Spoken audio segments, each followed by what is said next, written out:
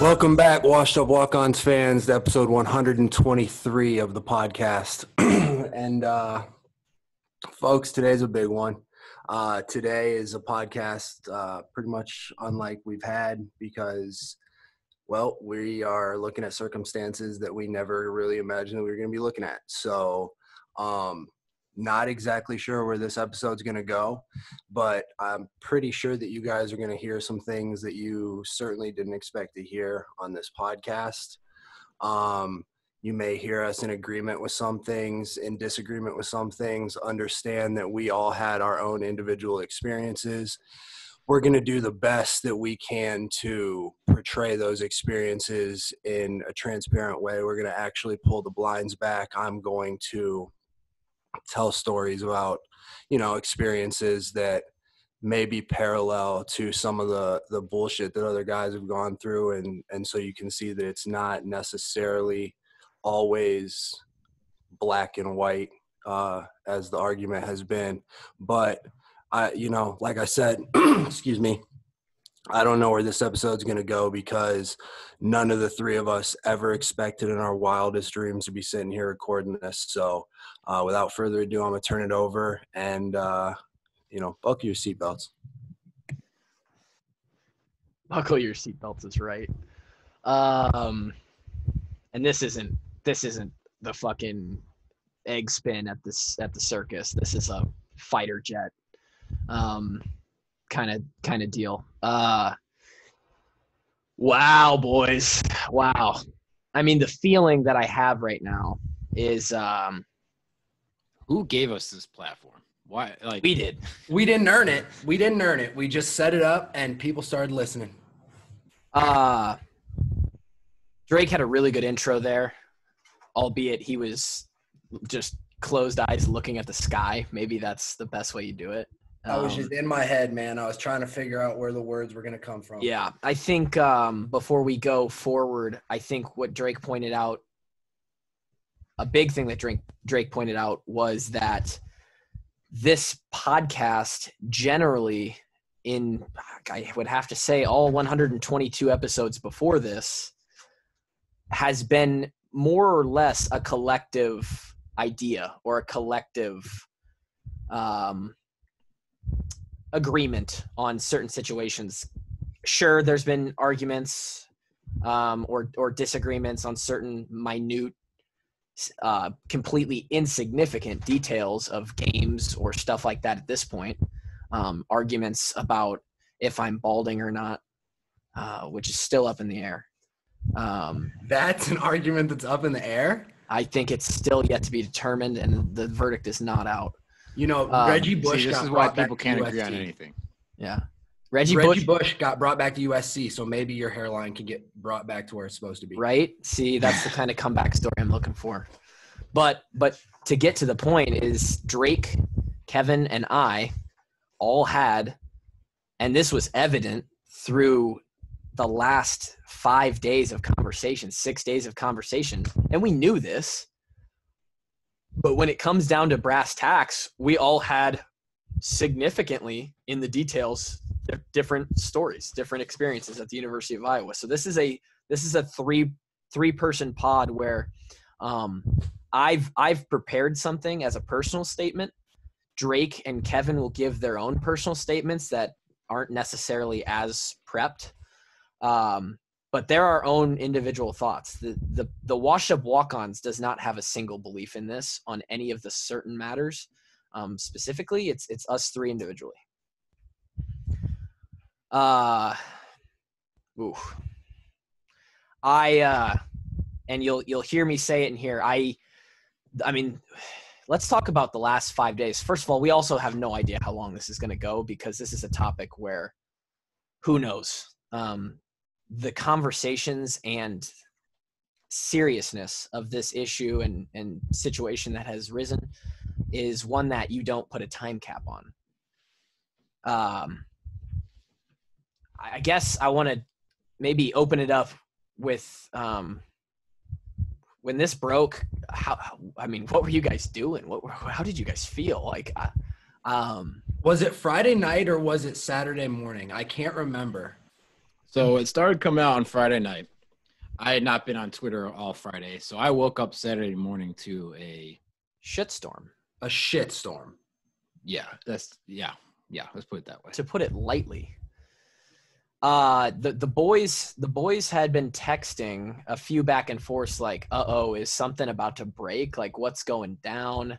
Um, the boys, as in the Benton the Benton Savages text group, um, which has been more active than ever in the last five days. Uh, we're recording this on Thursday night, so almost six days post this all happening, um, which some of you have have questioned. Most of you have respected, uh, because this is a s- extremely dynamic matter.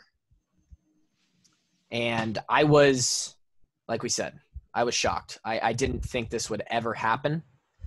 Mm-hmm. I wanna I wanna make clear that this isn't this isn't some conspiracy under the rug kind of deal like the Sandusky thing was, where stuff was being covered up. This is a thing that is so like clearly there was one side or the other there on the Sandusky kind of thing, whereas like people knew something was incredibly fucked up. Everyone would agree that it was fucked up. And you were either on one side or the other, but it was being covered up.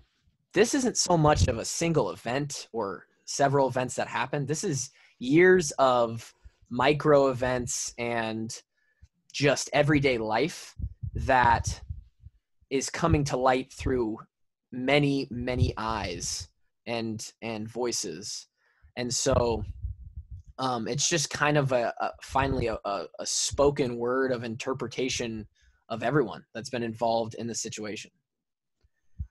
Um, so I, I guess um, you know all of you sitting there listening you want to know like what was up.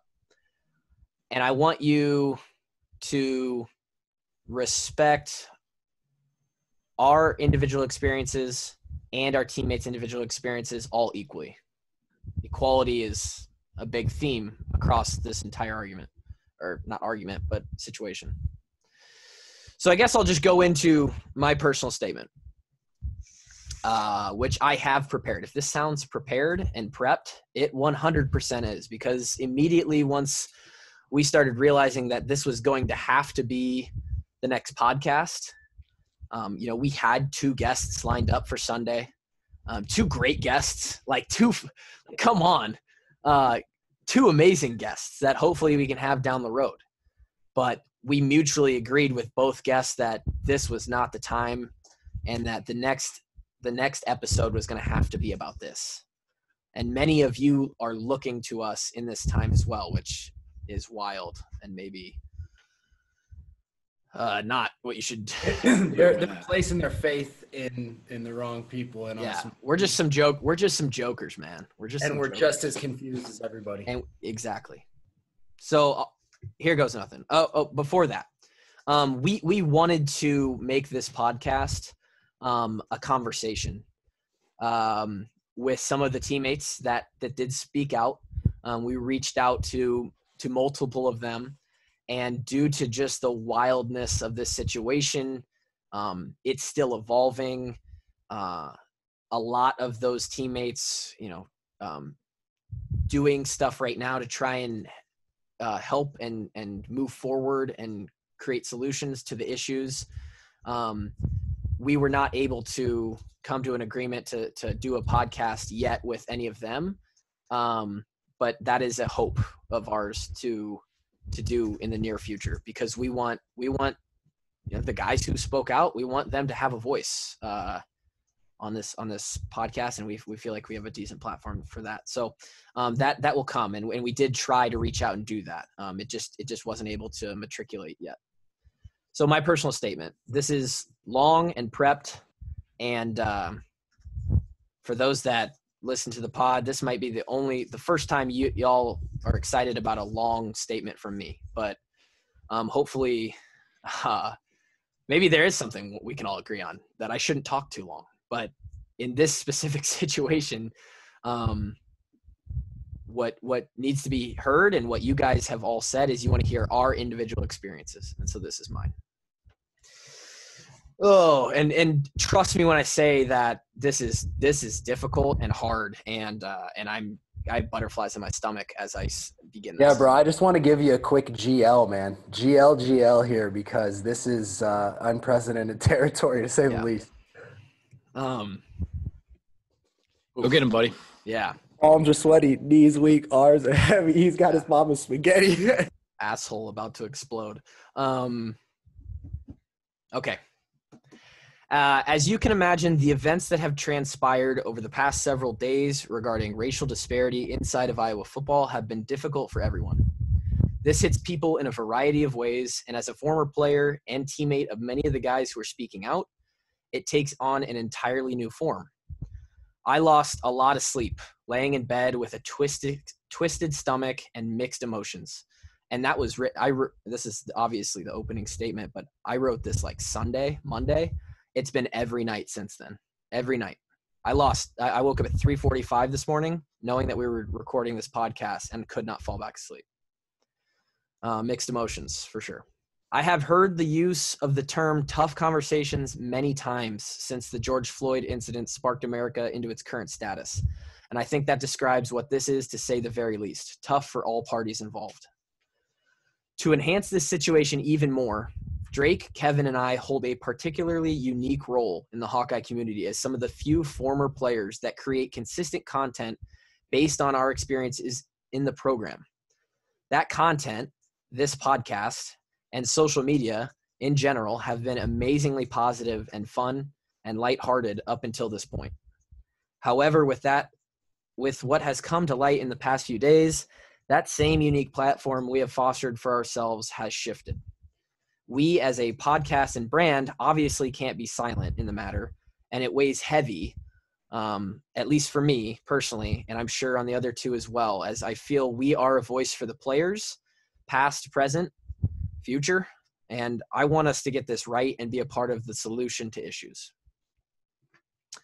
Trust me when I say it is not lost on me that this show we do is so enjoyed and respected that you all actually are looking to us in this situation. The response on social media to myself through tweets and direct messages expressing your concern for us during this time is amazing and appreciated. Before I get to personal experiences, I want to commend my teammates for speaking out for something they believe in. Going up against an entire organization and highly respected individuals both parties of which have just ultimate power is not easy in the least, but sometimes necessary. While it has been a roller coaster of emotions since the bubble popped, this situation is in no way about us three or the podcast. The flood of statements from our former teammates made it brutally clear that not everyone has the same experience with Iowa football that we do, and in fact, as I mentioned after Drake opened us up, over the course of this podcast, you'll find that even the three of us had marked, markedly different experiences during our time. So, why has it taken us six days to collect our thoughts and record an episode? Why wouldn't we just come out in clear and simple support of our affected teammates like many others have on Twitter? Those are great questions, and they bring us to a very dynamic answer. The three of us wanted to avoid any knee jerk responses. We wanted to give the situation time to develop and be able to hear as many teammates as possible through social media and through personal conversation. Again, this is my personal statement and experience, and I don't speak for Kevin and Drake. But as those who have listened to this podcast for a while now can probably deduce, I had a very contradictory five years at Iowa relative to the experiences being described on Twitter. Many of you are saying right now, yeah, obviously you're white that makes sense um, but it's more complicated than that and i'll speak on that in a minute um, to but to further the complication i was also around or witnessed some of the stories being told. Um, little carrot indent uh, sidebar here. Actually one of the one of the reporters did a little write up of the players claiming racial disparity or whatever people who had spoken out and it just so happened that um, the three of us our five years in the program had the uh, if you were to graph it kind of the majority of these claims um, so i was i was we were with a ton of these players when when this stuff went down Um, and so, why is it complicated? If you're wondering if I'm saying what I'm, you think I'm saying, yes, some of what happened said, some of what was said happened. Some of it, um, again, personal experience, I know to be exaggerated, and some of it I know to be completely false and fabricated. And there is a lot of gray area in this situation. Um, now you can understand the delay in making this podcast because coming out and saying that kind of thing right now is almost impossible. And I don't want anyone to misconstrue my bottom line position in this situation, which is all which is that all players, coaches, and staff should feel safe and treated fairly while being a part of the Iowa program. And it's clear that that has not been the case. Also, just because there were some misleading things posted on social media doesn't mean the, the majority doesn't mean that the majority of those stories and anecdotes, specifically the isolated comments and incidents, aren't true. And I actually do believe happened. There very well could have been, and after looking at the evidence, likely were racist comments made when I was not present. And after reading some of the accounts, I believe the line was clearly crossed multiple times. The reasons these are tough conversations is because there are two sides to every story. And when the side of the bad guy gets told, Doyle in this situation, the party telling it can easily be misunderstood or looked at poorly. Because my experience with Doyle was positive, and I will detail some of that, I hope all that are listening can respect my experience, listen all the way through, and know that ultimately I am on my teammate's side in this. I want to make it crystal clear that regardless of my personal account of my time at Iowa, I agree that there is plenty to be done to make the culture at Iowa better relative to feeling accepted, equal, and having freedom of self expression. Ooh. Chris Doyle is the major person in question here. Those who have listened to this podcast know that up until this point, as a cast, we have outwardly and repeatedly said that Doyle is the best strength coach in the country. Nobody in the world is better at creating a college football culture, and that he played vital roles in our lives. The last of those three will never change for me. I attribute the large majority of who I am, my true identity today, with Iowa football, with my time at Iowa football, and specifically Kirk Ferentz and Chris Doyle. As an 18 year old kid, I came to Iowa football and had a long way to go when it came to discipline, dedication, hard work, respect, consistency, nutrition, working with others. The list goes on.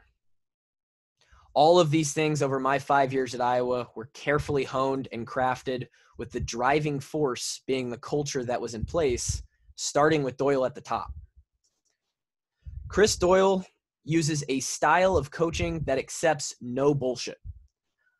I would even say that he struggles to accept performance that is really, really good. Perfection and compliance to rules, both written and unwritten, are expected. Even when you do everything right and work hard, the praise is few and far between. The style, in my opinion, is what drives the constant competitive environment inside that program where every guy is always trying to be better, even if they are already great. That doesn't mean that that style is the only one that works or even that it's the best practice. When one did get a compliment or acknowledgement of good work from Doyle, it was something to talk about. I can specifically remember a few times I was acknowledged for good performance in a group setting, and the feeling of impressing the strength coaches and staff enough for something to be said in front of my teammates was incredible. Those acknowledgments were one of the many reasons I worked so hard and gave my all to Iowa football. Of course, with the good comes the bad. And obviously, a lot of the bad has been aired out on social media as the catalyst for this current state of Iowa football the times where Chris Doyle would blow up on someone for not following rules or not doing something right were much more frequent. The, Chris Doyle most definitely was not afraid to single people out. In my experience, I cannot remember any times where those blowups in front of the entire lift group or team were racially biased, but I can definitely see how they would be processed by the called out individual as bullying or abusive. I am not free of those callouts, in fact. We have mentioned many times before that Doyle had ammo on everyone, and I was no different. I was a specialist, and everybody gives shit to the specialists. That's a given. But he also got after me about my conditioning level, especially early on in my career, my body composition. I, you know, I was called tubby or fatty multiple times. And some of my personal hobbies uh, as well, most specifically CrossFit. Um, he called me out a lot on CrossFit. Uh, I've told this story a couple times, but I myself was thrown out of an entire day of the summer program just for clearing some saliva from my mouth. I was in no way spitting at a coach or d- disrespecting anyone, but Doyle from 40 yards away uh, saw it happen and interpreted it in a specific way. And when that happened, there was no other choice. So 30 minutes later, I was back at the crib with Kevin. um, and he can Very attest confusing to that. day for me. Yeah, very very like- confusing day. Very you- funny you- day do for me, man, because I got to see both times you got kicked out, and I got to laugh my ass off. Yeah. Um, that was just one of the numerous times that that something happened to me or that I was called out during a workout. Aside from those interactions, and this alludes to a lot of what was brought up on Twitter as well, was this feeling of being on edge or walking on eggshell eggshells while at the facility. This feeling was more or less apparent in each player's specific situation, but it was obvious. There was always a chance that Coach Doyle was going to call you out on something. All of this is what I have always described to other people as extreme accountability. And I personally, again, I repeat, I personally loved every bit of it. Even the embarrassing callouts and unnecessary jabs. Maybe something is wrong with me or I'm just different. To understand why I enjoyed that kind of environment, you have to know a little bit about how I grew up. My dad was my coach from third grade through graduating high school in multiple sports, and I was always expected to be the best.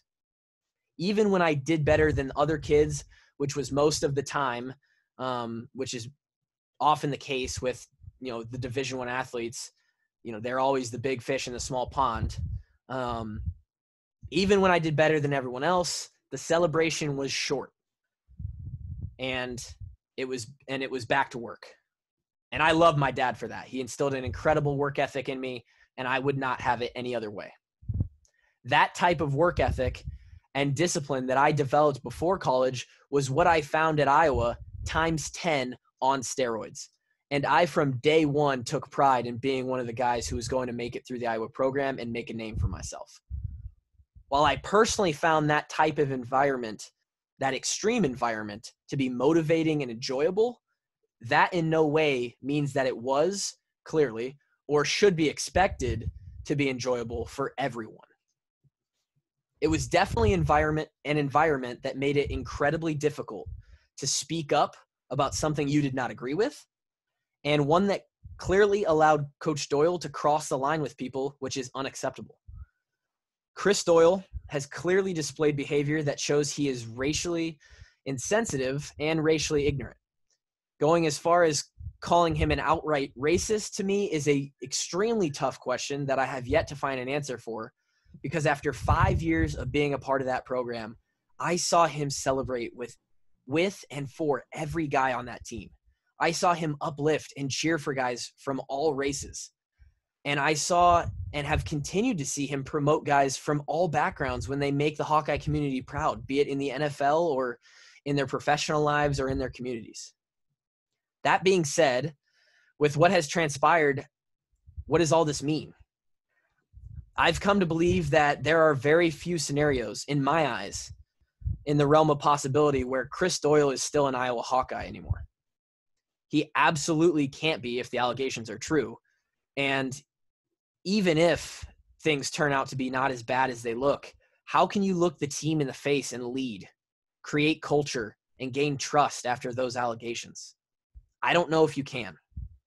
And that's something I would have never imagined myself saying about Doyle or the Iowa program. I sincerely thank you guys on this podcast for listening and caring about my personal statement and those of our pod and those of the podcast in general. Again, the bravery and courage in the voice of our teammates is something to be proud of as a Hawkeye community, and I have faith that Iowa football will be better moving forward. And that's my statement. Thank you for that, Clue. Can we call it a Can we call it a podcast now? Yeah, if you don't want to, you just want to leave it at that. I mean, you can. Um, and and there are some things that I left out in there that are, um, that are much broader, and and are part of the discussion that I I want to have potentially after we each kind of give our own thoughts. Um, there's there's this thing is so so deep um, and and wide, and uh, and I feel like some of it is better discussed and not um, not just you know like like Kevin you said early when we were trying to figure out what we were going to do for this podcast. It's better as a discussion and not to talk at people. And although our individual statements um, are just that, they're just talking at people. I think those are kind of fall into a different um, a different category. But um, I'll give the floor to you guys. Uh, and and whichever one of you wants to speak up and kind of give your account. I'll let Kevin go next. Okay, he's frozen on the screen, so I don't know if uh, we might have to edit this part I- out. I also froze for a minute too. I know. I heard most of yours. Yeah, yeah. Um, let me text Kevin. We might have to cut just cut this part out, but That's cool. Um, I was downstairs feeding my dog. okay.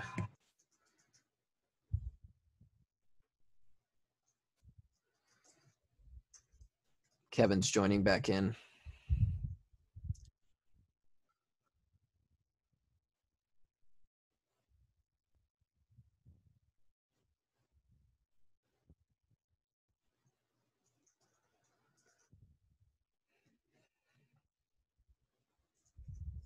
It's going to be a hell of an edit.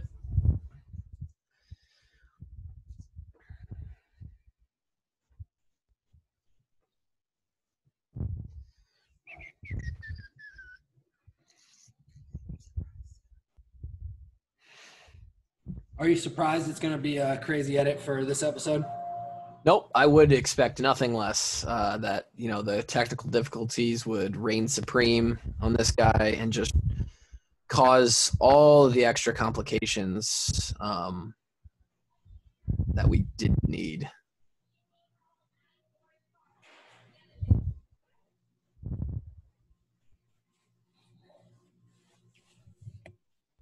It's all about the frequencies, man. Well, I think sometimes what happens is uh,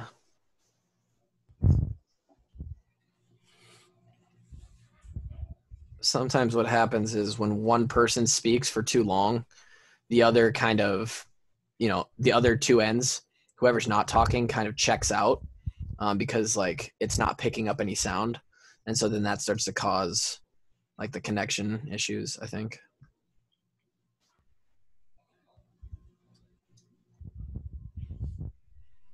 Hopefully, about 26 or 27 minutes in, so I can remember that when I go to edit. That's how far we are into this. Yeah, that my statement ended at about 27 minutes. Wow. I Kevin heard says, all of it except for the very end. "How much did you hear? Did you hear about?"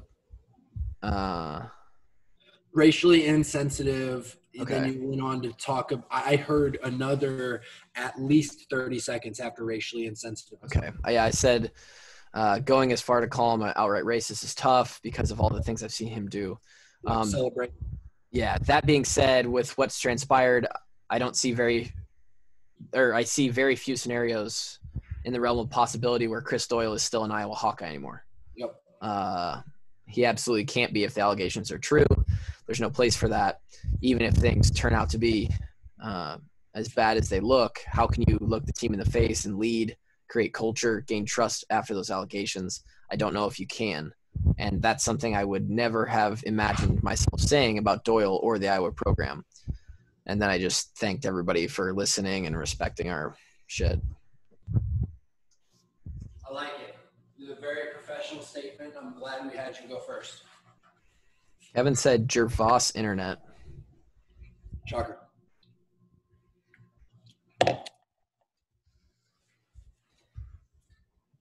Here we go. There he is.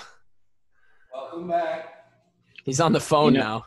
Yeah, we gotta go on the phone. You know, talk about like the worst episode for Gervais's internet to be taking a dump on. Oh, dude, I, I just said it. Um, what what would you ever expect uh, for for this episode? But all of the extra complications on top of the episode being the heaviest we've ever done.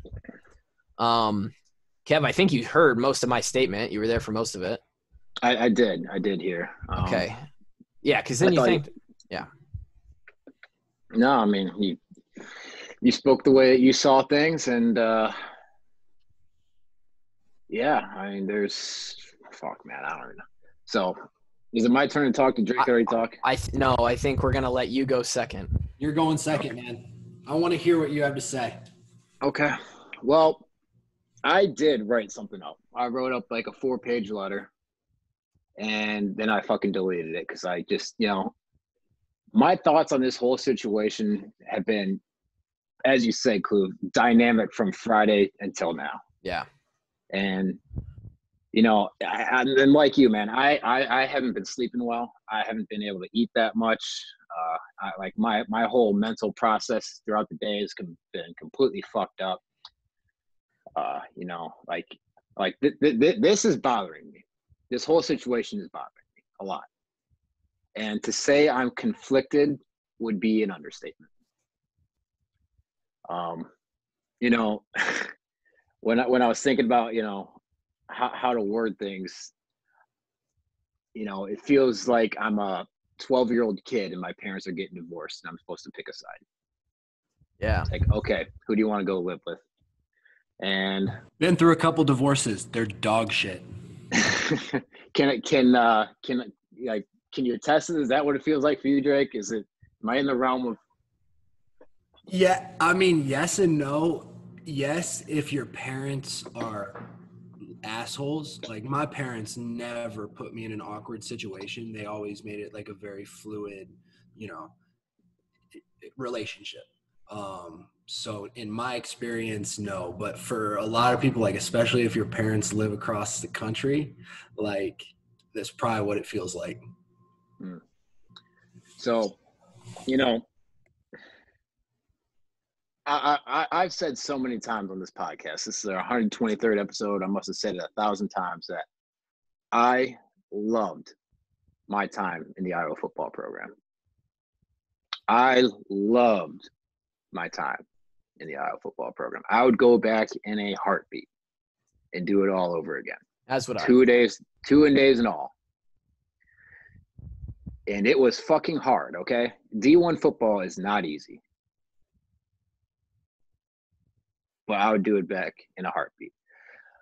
Oh, man. And you know what makes it so awesome is the relationships you form.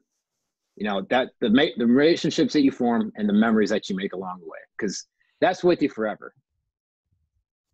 Like you guys are going to be my boys until the day I die. Which Yeah, you're stuck with me, Kev. I'm stuck with you. Yeah, you're And, probably un- you know, unfortunately in the situation of Drake, but I know that you're that you really appreciate that in my in my friendship.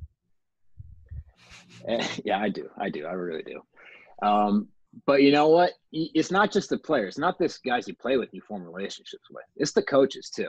You spend almost as much time with the coaches during the season as you do with your with your buddies and your teammates. And you know, I formed some close relationships on that staff, and I have a tremendous amount of respect for that coaching staff and several of the coaches that have been called out on Twitter in the past week. That I Mhm. consider them mentors and you know guys that I can go back and talk with and say, "Hey, I need some help with something," and they'd be more than willing to help me out. So you know, to say that like conflicted, I'm I'm in pain. I am angry. I'm upset, and I I just you know everyone everyone in the world has been lighting up my phone since Saturday about this whole situation. Friends from back home, family members, um, you know, guys that I, that I know that played back in the 80s, uh, you know, like everyone wants to know, like, hey, what the hell is going on? And I haven't been able to give anyone a good answer because I don't know if I've even been able to put my thoughts together.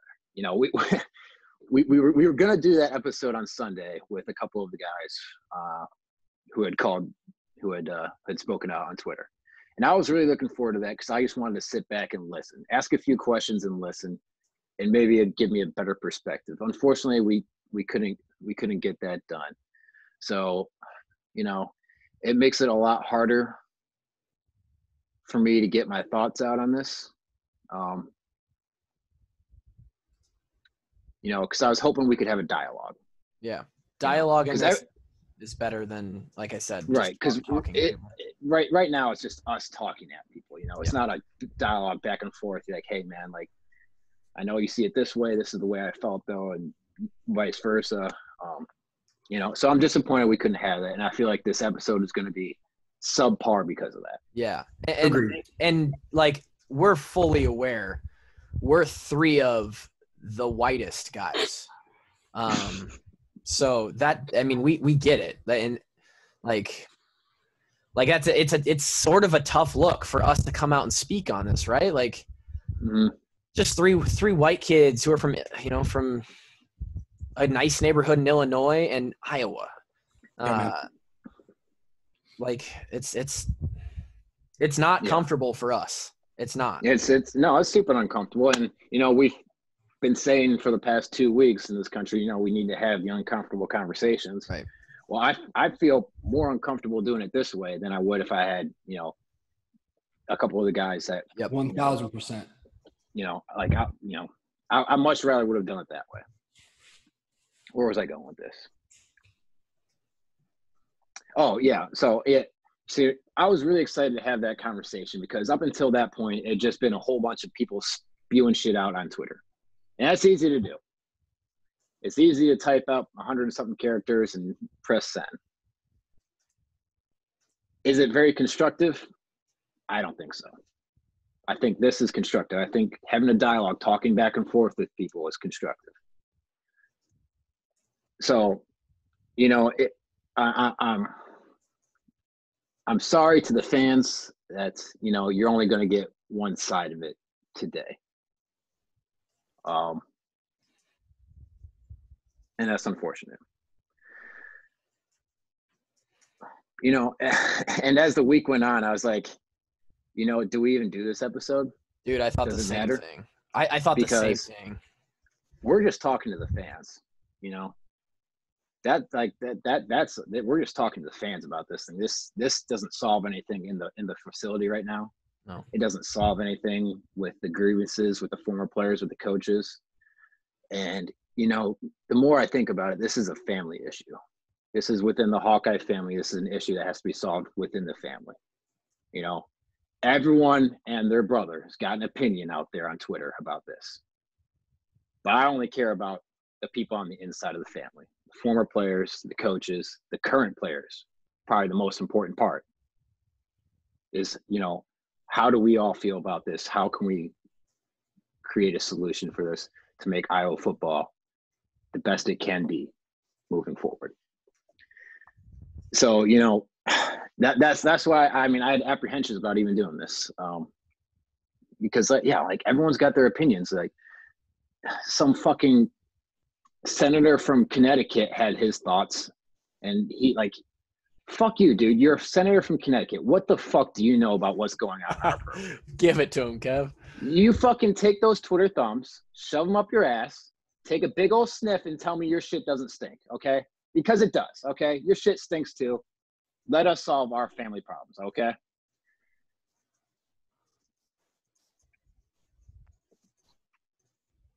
And they're big problems, Big problems.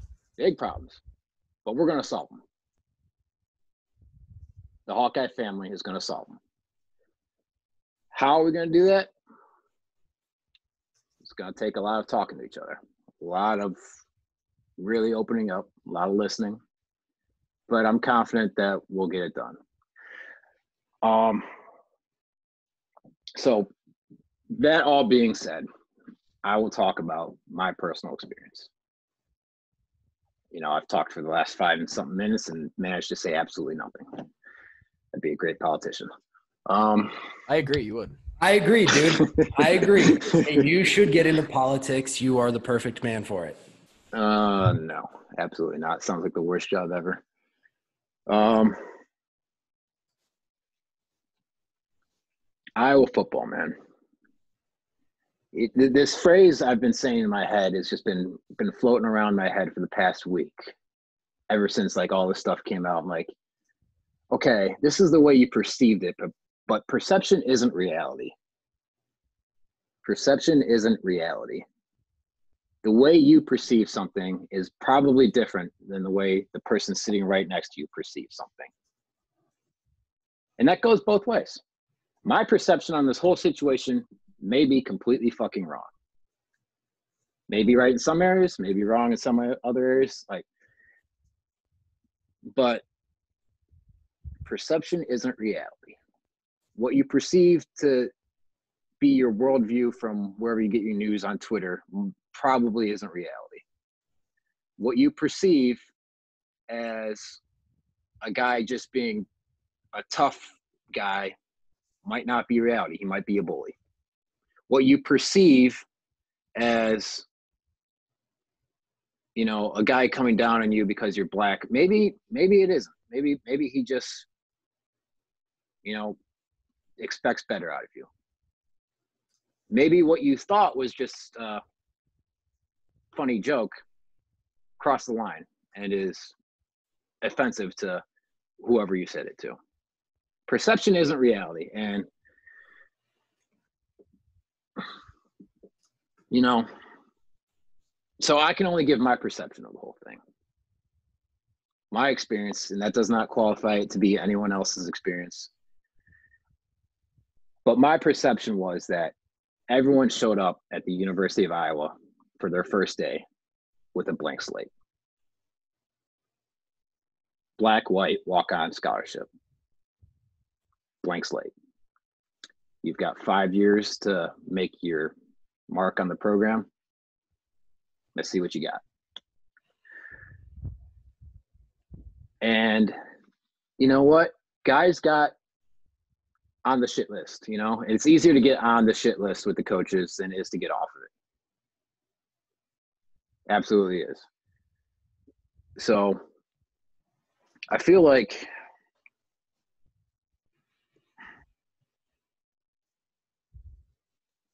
I feel like a lot, oh, man. See, it's it's a week later, and I still don't really know how to put this into words. It's it's tough. Let me say this. Let me let me backtrack a little bit. Um, Kluver, you mentioned how some of the comments, uh, you know, we weren't there for. We have no idea if they happened or not. If they did, cross the line, hundred percent. Yep. No arguing it. What really started to bother me is when my teammates said the culture of the Iowa way of doing things Yep. in itself was racist. This is the number one thing that I was going to bring up in the discussion, but I'd love to hear your initial thoughts. And that has been bothering me a lot. That is what I can't sleep over.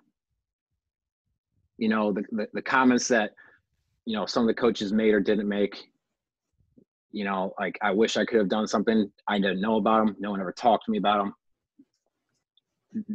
There's, you know, what could I have done? For for my former teammates to tell me that the culture that we worked for for five years to build up of accountability and say everyone's in, all in, was a guise to you know, keep black players down fucking hurts. It hurts bad. So I started asking myself, what is the Iowa culture? What is the Iowa way? And to me, like I just kept coming back to we are tough mentally and physically team. We play smart and we play physical. Tough, smart, physical. You see it all the time and all the shit they put out in social media. You see it on the shirts that the guys wear around. We're tough, smart, physical. We're disciplined. The Iowa Edge, that's, the, that's been the saying since 2015, based off the book The Slight Edge, daily disciplines. You do things right all the time, every day, it adds up. And accountability. You know, we expect leadership to come from the bottom up, from the players, you know, and to hold guys accountable. There's nothing in that I think is black or white. Nothing that could be seen as a way to keep players of color down, in my opinion. And for them to say so, I just feel like, you know, maybe maybe I failed as a leader. The coaches probably failed as leaders themselves to say, hey, because make no mistake about it, we lost a lot of talent in our time at the, at the program. Yep. The numbers are bad. The our black teammates were probably three times as likely to not finish through the program as a white guy. I, I, I you know, who knows? I would here. say at le- I would say at least two to one. There was and, and that's here. tough too because you know you have to look at the. So yeah, here here's a, here's a stat. It's just all it's through all athletics, but male African American graduation rate was fifty four percent or something like that, and so it wasn't good. And why was that? You know, it, I believe in extreme ownership, so it's, it's got to be from leadership. We did not do a good enough job of communicating to our black teammates why what we did and how the way we did things was important. Because we believe that those things are important we believed in showing up early. If you're on time, you're late. You're five minutes early, you're you're good. We believed in showing up ready for work and looking like you're ready for work.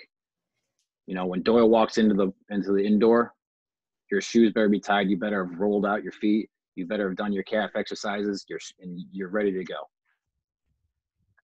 We believed in addressing our day in the complex as a business day.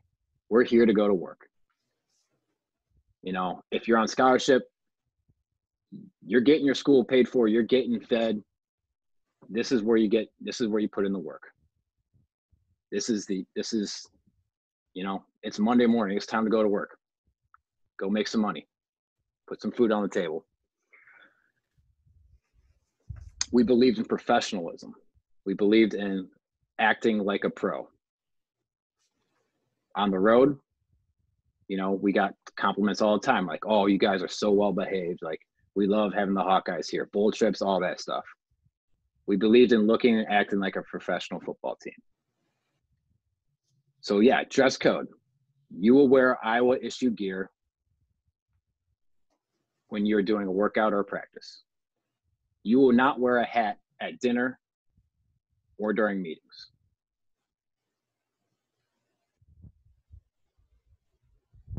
You know, you know, like basic stuff in my opinion. But you know, apparently, does, not everyone sees it that way. What about the jewelry, though? You know what? That is something I have been asking myself. There is no earrings allowed when you're at meetings, and that rule has actually been disbanded. It's not a rule anymore. You can wear earrings now. But Drake's pretty boy did not get to wear his earrings either.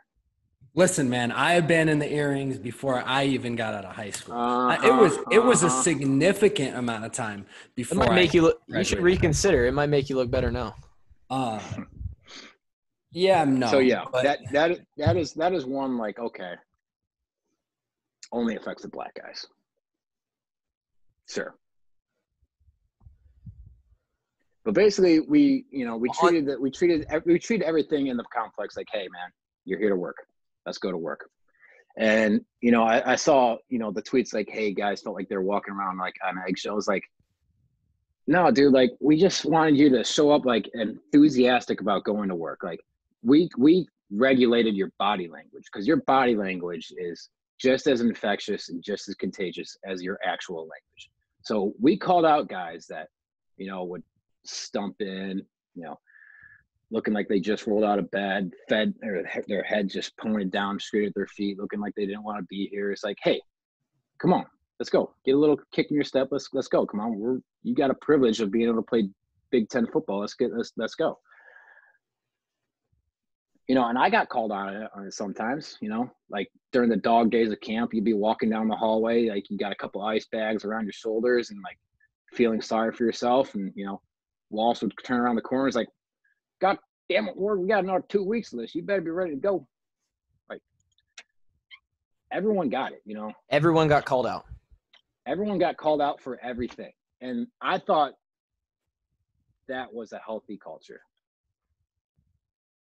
I thought that was, you know, good to keep people accountable. And I, again, like I, it, it hurts me to to to to know that my teammates didn't feel the same way. I get it, man. People don't like being called on their shit. I was a shithead as like going through my uh my my puberty stage, like seventh through freshman year of high school. I was a piece of shit, okay? And my dad fucking was having none of it. And I didn't like my dad because of it. My dad called me out my shit. It's like, hey, I know you're not a dumbass. Why are you getting a C in algebra? Because you're being fucking lazy. Go fucking study. Take care of your shit. I'm like, no one likes to hear that. No one likes being called lazy, but he was fucking right. And we applied basically the same ideas to Iowa football. And you know, going back to the going back to the part that our our our black teammates, you know, they washed out at a higher rate than than the white guys did. So, in my opinion, is is that their fault, or is it is it the leader's fault that we couldn't get them to buy in and see, hey, this is why we think things are important?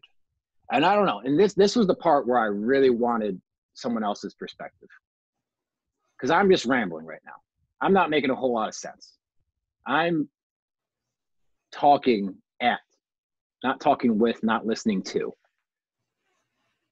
Like this is this is the part where I wanted genuine feedback.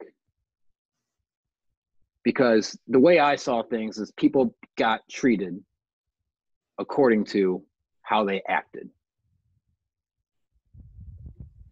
and It, so it- like it- if go ahead. if you're stuck, Kev, I'm more than happy to add a little different perspective. Um, because my time at Iowa wasn't necessarily as smooth as uh, you and Kluver's. Obviously, um, a couple of coaches that I certainly didn't get along with very well. Uh, didn't have, you know, I, I just didn't have that close relationship with a coach until Brian came in for a position coach. So for one year, I felt like I actually had a coach that had my back. So like, you know, I spent a little time or my time a little differently than you guys did. And, um, you know, Doyle was, I feel like Doyle was exceptionally hard on me as well, but I needed it. And I came in the shithead like Kevin was just explaining. And like that was me. And his way of, um tough love is one way to put it his way of tough of showing me tough love and like he wanted me to succeed but he was never never gonna let you slack kind of like kevin said um definitely you felt that and i don't know man it the, the thing that resonated with me was the doghouse and how everyone was absolutely terrified of doyle's doghouse because you know that once you get in it, you can't get out. And I think that You, you can. People have gotten out. Cooper was in his dog. I I was and, and actually you're so this is incredible because I can actually speak on this. Um Go ahead. and again, I'm white, so you know, if I was black, would it have been different? I don't know. Oh, I can tell. You, I can give you an example right off the top of my head of who else got out of the doghouse. Who? Josh Jackson. Josh his first year in the program, like you know, missing body weight, being late to stuff, missing tutors. Like, Yeah. he was on the he was on Doyle's shit list. He was on KF shit list. He was on Phil Parker's shit list. He Josh Jackson, shit- his junior season, was an exemplary teammate. exemplary. Turned his shit around. So you can get out, And and it is absolutely easier to get in the doghouse with the coaches than it is to get out. yeah, and, and Is I that was right? I don't know. Like That is right. And I think that Doyle's doghouse was exceptionally hard to get out of because I do believe that as a coach, he had a tendency to hold grudges, which I don't believe is a te- is a quality that you can have as like, you know, a leader in my opinion because you know, I heard ju- I don't have examples. I'm not going to give examples because I don't want to misquote anybody. This is not my battle. You know, I'm not I'm not a snitch, nothing like that, never have been.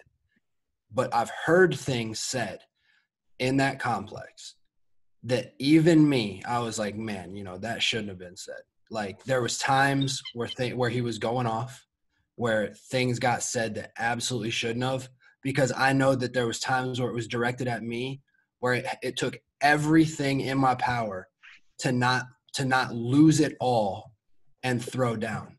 Yep. And I know that I have more of a tendency than you guys do to to have that like explosive reaction. And in in that way I am more similar to the black culture, you know? And that that's the truth. The black culture fights more than the white culture does. And I have that tendency to like have that reaction and you know that just in similar ways so i can kind of understand the mindset where if you feel as if you're being picked on uh, kevin said it very very well perception and reality aren't always the same. If you feel like you're being picked on unfairly and it starts to get a snowball you're really in your head about it you're emotional about it anything can really set you off. And i'm not downplaying what everybody is claiming. I'm just saying that you know, as Kevin said, in their perception, it may not have been as harsh as they believed it was, but it was continuous. And finally, they just had enough. And I, you know, I, again, I'm rambling kind of like Kevin is, but I'm just trying to explain it from my point of view. Like there was times where I felt late in the program that I had certainly earned my respect. And there was times where I flat out didn't get it. And I got embarrassed and berated just like everybody else in in right out in front of everybody. And it was it was those situations where like you know i didn't feel as if i was being treated fairly and getting the respect that i deserve so like i understand in a way where they're coming from just not from the racial side. Because obviously i can't feel racial bias. And So, Coach Doyle is a very polarizing figure among the locker room and the alumni. There are guys who love Coach Doyle. There are guys who hate Coach Doyle. Both races. oh yeah, I- Yeah. I think that should Yeah, be like- said too. Like here. he he is a he can be a real dick to people. That's you know. Yeah, he can be a dick to people. Hundred percent. Let's put let's just put it out there. I mean, can- I got, I got, I got called out multiple times. Yeah. Uh, did I deserve it? Yeah, yeah, pretty much I did. yeah, Whenever I got called out, same but for me. you know, no one was immune to getting the fucking getting the smoke. the smoke. the smoke dude and it was No, no. but that's the thing it was really the smoke Like eh, when Doyle brought it, he freaking brought it, man. Like he he no one like I said in my in my statement, he had not only did he just bring it, but he had ammo on everybody. It was always something. Even if it was Drake, I heard it with you and me all the time. Even if it, if it was something as as simple as man, I don't I don't know about those Muscatine kids, you know, like some, something like that. Now, for me or you, probably even me, you more than me, like if he said something about Marshalltown, I don't give a shit, dude. Like I, me and Marshalltown aren't like you know. We're not great- tight, bro. yeah, that's. I mean, this is is this is go to to go to your hometown. It's like, right. I, I grew up oh, you think you're cool because you went to the Providence Catholic Celtics? Or, Right. Uh, and, and this that's a mild version of him kind of putting a jab on you.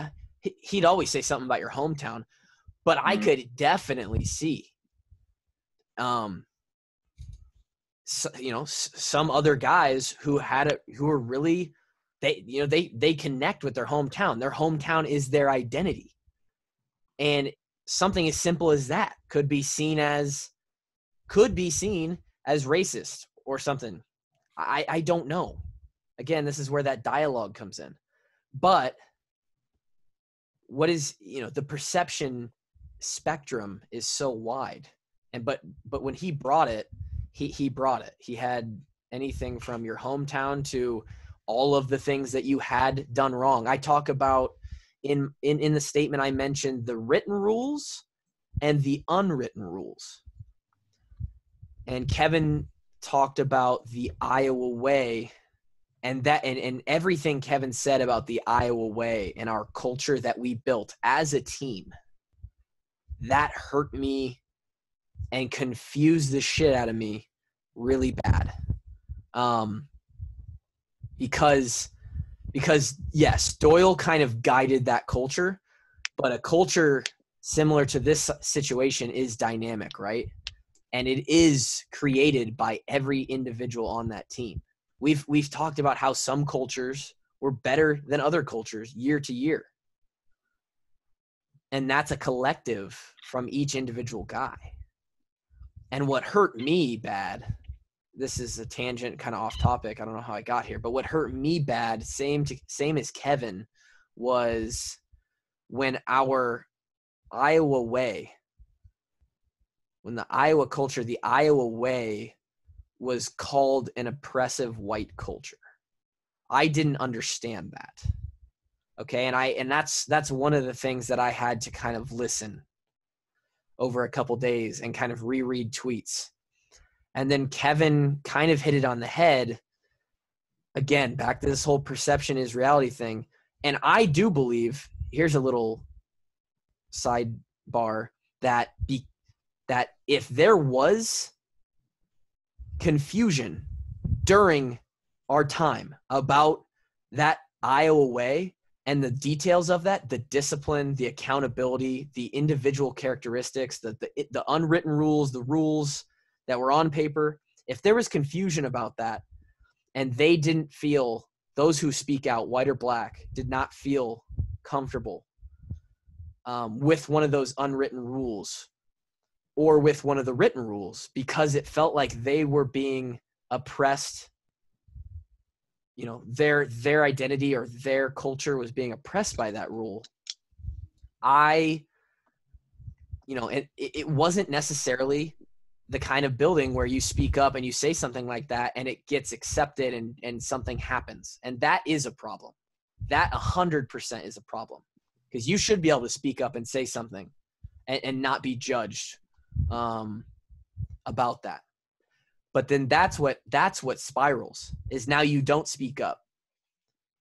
Uh, again, I'm I'm I'm clearly not black, but in my situation, if I thought that Doyle coming after CrossFit was oppressing my white culture, I should be able to speak up and say something about that without getting, you know, it, it- with at least getting to a point where we can have a conversation about it and we can figure that out. Because when then then when those feelings fester, um, you start to view other situations differently. There are other times when you're um, disciplined because you didn't do X whatever right. Um, you start to view that in a different way, and you start to build this this perception. And again, the perception isn't reality, and it goes both ways. I I feel like maybe I was, I you know I questioned myself. I feel like everybody questioned themselves. I sat there and I truly thought, and you two would you two would agree with me and and tell people this. Tyler Kluver is at the beginning of this, before this, was the number one Doyle fan on earth. If there was a club of Doyle fans, I was in it. As you heard Yeah. from my statement. And it was hard for me to question. It was hard for me to say some of those things about Doyle because after questioning myself, I do admit that there were times where he probably crossed the line in specific incidents, jabs that he just did not need to make.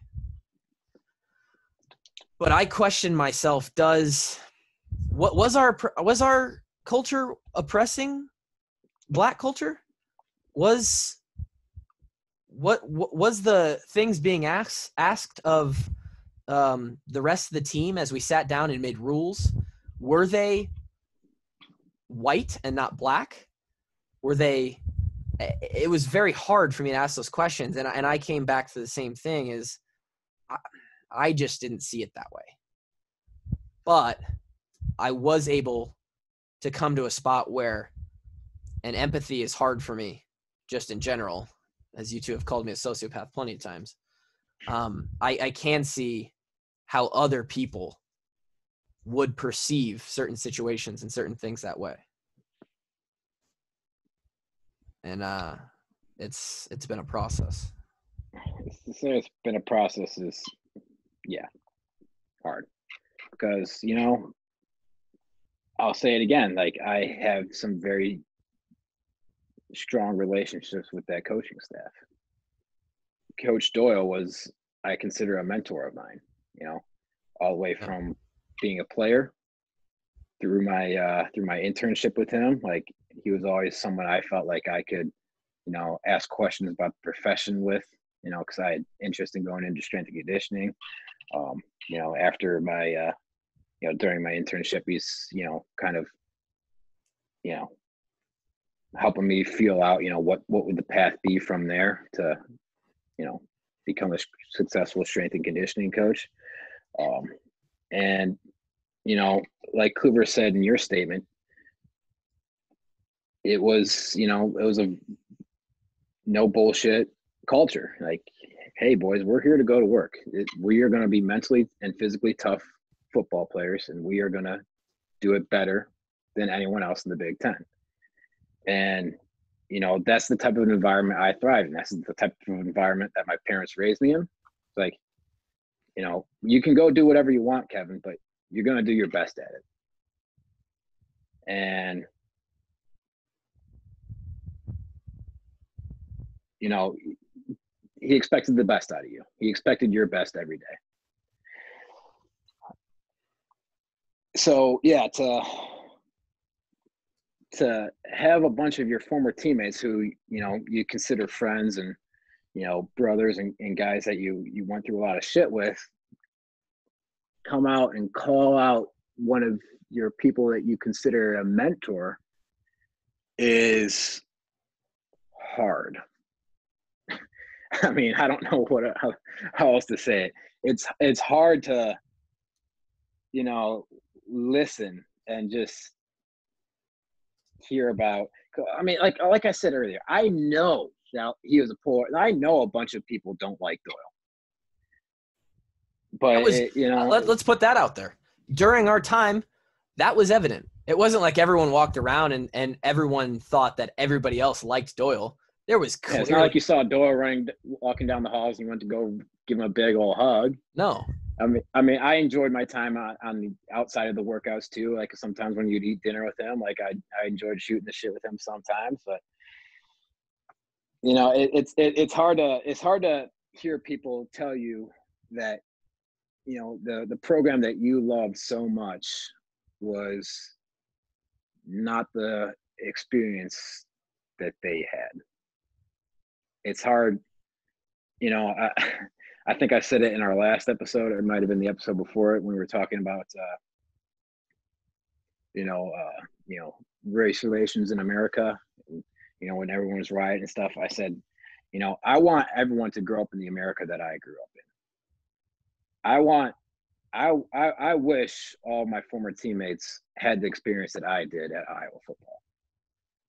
And the fact that they didn't, it, it hurts, you know, it because it was that was the best years of my life. Yeah, because that sucks. It it seems unfair that you got to do it and, and they didn't. right. And I don't know, I, it, like I said in, in my kind of spiel, is like, you know, who's is that is that on is that on the coaches for crossing the line in their comments? Is that on, you know, the coaches and the leadership of the team being the seniors and the upper level guys, you know, setting an impressive culture? Is is that on us for not getting the guys to buy in and get excited about what we're trying to do here? Get excited about trying to win a Big Ten championship and how we're going to do it? You know, I don't know, man. I don't know. There, in you know, there's a lot of shit out there that you know, exaggerated. Yeah, bullshit. Yeah, there's there's one of our former teammates on some high level bullshit. I, I wanted to come back to that too. I, I kind of snuck it in there in my statement. I yes, I, I did say that there was some exaggerated stories, and I said that, um, and this is me personally because I, I don't. Drake said for sure that he wasn't there in the specific one. I'm not going to call it out because I'm not here to call out specific teammates, but I know for a fact that two of the tweets I saw, I was in the situation, and the the story that was told on Twitter was a completely different way that it went down. I saw probably five more. You know, there's probably 40 or 50 tweets. I probably saw four or five more where the tweet alluded to, and it was probably more than this because I was, dude, it was hitting hard and I did not want to read all that. It's like, imagine that. It's like, oh, let's go read everything that's tearing down what I love right now. So I wasn't out there searching, I was just seeing retweets. I saw probably five more that alluded to that Iowa way, that Iowa culture, or someone getting kicked out of a workout because of one of those rules that we had. That I know, at least I thought I knew, not to be racial at all. It was just a rule for the team. You know, maybe it was a dress code issue, or a being late, or being on time issue, and it was it was um, it was told in a way that um, alluded to the racial issues, and I I didn't know if it was. Here's a question I have for y'all that I just kind of thought of. Do you think that in part because we've described the Iowa way as uh, similar, like military esque, It's very military. Sure. do, do Sure. you believe Nope. that, that there are some guys who uh, who just had no idea what they were actually signing up for? Like some of us, like I don't think I knew what I was signing up for, right? But there are some guys who come from completely different cultures who certainly didn't know that they were signing up for a military style, you know, life where people are, you know, very, very, uh, you know, captain like. I don't know. I, I so I yes, I think everyone to some extent has no idea what you're signing up for until you're in it. There's no way you Mhm. can know. But obviously, that's going to extend farther for some guys. And I Yeah. think, and I don't even think this is a black or white thing as as much as it is if your family, black, white, Mexican, Samoan, whatever you are, was not a disciplined family. You know, when you guys when you grew up and you guys went places, you showed up to you showed up to church 2 minutes late. You showed up to uh, your events 5 minutes later right on time. You never really had a or or followed a dress code in your life. You never no matter what race you are. And that's that is who you are. That is now your culture. If you're 18 years of culture, that's that's become a part of your identity.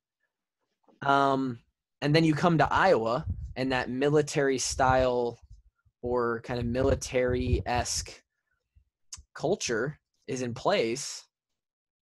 Hell yeah, it's going to feel oppressive to what you know. So now that you bring that point up, Drake, is like, you know what?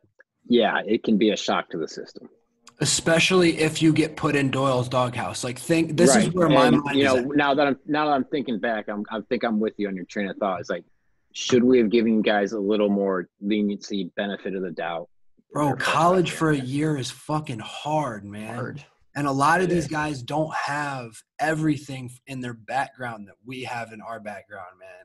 And like we're blessed. And so like some of these guys who come in and just maybe aren't so fit, aren't so mature, man. They're a young 18, not an old 18. And they get in Mm-hmm. that doghouse and they don't know how to dig themselves out and it is a snowball effect from hell. Yeah, And you're right You because know- once you're in there, it's hard to get out. hard. The only reason, not the only reason, but one of the only reasons I was able to get out was because I was given a starting spot.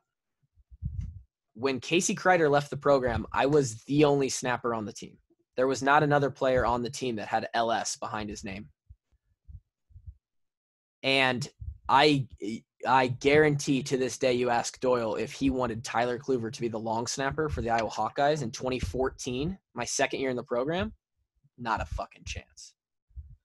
Did I deserve no respect, bro. did I deserve to be the long snapper in 2014 based on my actions inside the program? Maybe. Hardly, if yes. Leniency in that first year is something that is something because you can't you can't be lenient forever. At some point you do have to grow up, right? Right. but uh, with with Kevin, how you kind of jumped on that train, I, I think I'm on that one as well.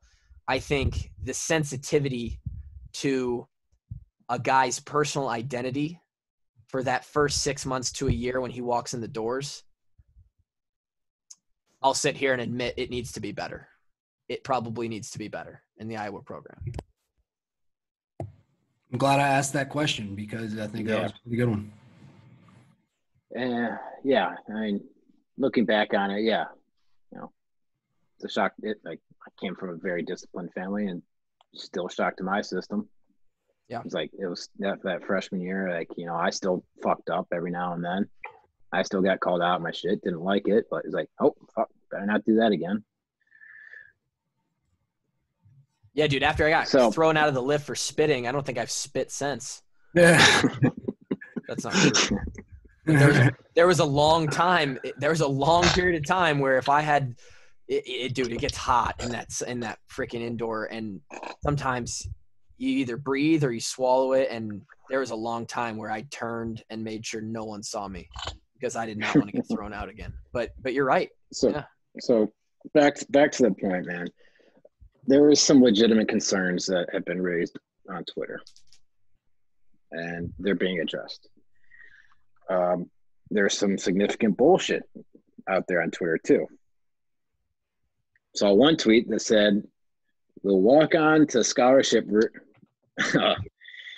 uh, rate was ridiculous, and that coaches conspired with the walk-ons to get rid of players that are already, that are still on the roster. I'm like, That one was wild. that that was one don't make a, that is that such one- a wild claim.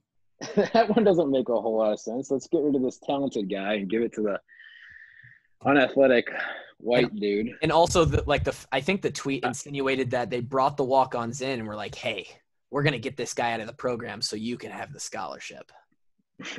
that I was like, yeah, "Well, I, I, actually, I actually DM'd that teammate of ours, and he took the he took the tweet down. I, I, I was, you know, I was heated on that Saturday. I was like, do I just like end this guy's life publicly on Twitter right now, or do I do the nice approach and just DM? I was like, dude, take this down. You know that, right? So, you know, take some of the stuff out there with a grain of salt. Um, but you know, if if that many people feel that strongly about you know this situation, then yes, obviously we do need to address things. And I'll go back to my tweet and that we tried to address it. You know, Camp 2017, we have a team meeting, and KF very bluntly says, I, I think you guys would probably remember this, like, you know, we've been noticing a very disturbing trend in that if you look around the room, especially at our older classes, are we do not have a whole lot of diversity in those classes. And he he went on to say, you know, the attrition rate with our with our black players and teammates has been very concerning. And so, you know, I started thinking to myself, this is KF's words, you know, why? Why attrition? And so uh, you know, I, I, started talking to some of the players. Um, uh, this is when he brought back Jordan Lomax to talk to to black players privately, and right after that team meeting. And, yep. You know, I wanted to have Lomax on this podcast because I'm dying to know what he told our teammates that day. And you know, they they formed a, you know, a kind of a, I don't know how many guys were in it, but like a kind of a little group, uh, you know, diversity committee. Yeah, yeah, diversity committee to, you know, that KF would, you know, meet and talk with guys like, hey, how can we do better? Because we're losing a lot of talented players that we believe can be successful here, but for some reason we're not getting through to them. And you know that, that brings me back to Jordan's tweet. Said the coaching staff was unav- unable to relate to our culture. So was does that mean that we weren't able to get through to the to the black players? Does that mean that you know just not being able to relate to them like uh, like I don't know. I think what they're I think because I because I said it I said it before and I'll say it again. Like I, looking back at the rules we had in place, were they oppressive? Strict, yes. Very disciplined, yes. Oppressive, hard I, hard I, to go I, that far. I, I I could not swear in court to say that we had an oppressive culture. I, I, I, would, I would, I would let them put me up on the guillotine and pull the, pull the cord and say, no, we did not have an oppressive culture. Um, but you know, that's my perception. Perception isn't reality. I don't know. Yep. I don't know. So, you know, and people have talked about the, the Twitter things. Like, is it wrong to not give the players Twitter?